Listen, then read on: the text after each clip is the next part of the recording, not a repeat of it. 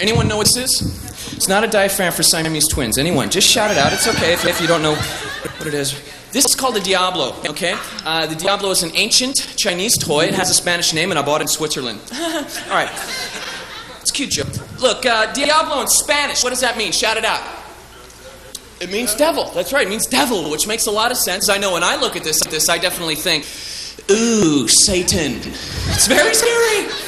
There's 150 different tricks that you can do with the Diabolo, and I have taken the time, people, to learn three. I'd practice more, but that's just such a hassle. Trick number one the elevator. Here. Oh, yeah. Oh, yeah. Get cable, okay? People are too easy. All right, try another one. Under the foot. Under the knee. Weenie. Okay. Here's another one. Here's another one you might not like. Art.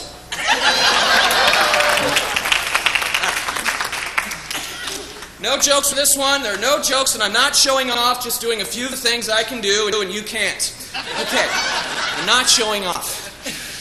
You're freaking out, aren't you? I hope the string doesn't break again. Otherwise, you're, you're history. I'm taking you out, lady.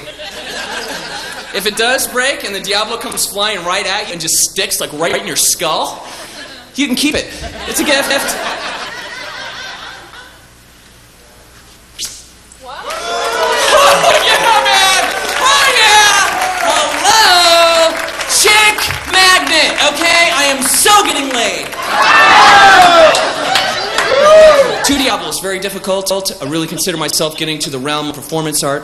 And just like a, well, a dancer would speak to you through his shoes, or a musician would speak to you through his instrument, I now, ladies and gentlemen, would like to speak to you through my Diabolos.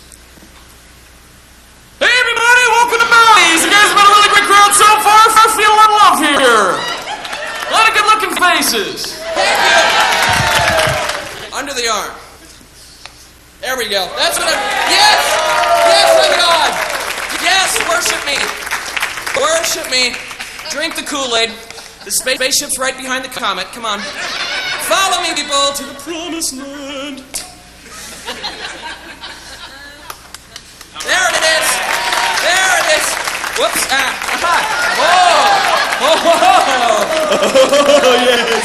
Oh, yes. Yes. Who's your daddy? Who's your daddy? You know you like it, you dirty little.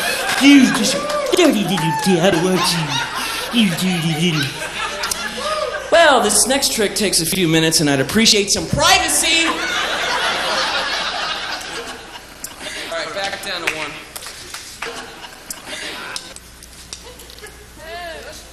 Scrambled eggs.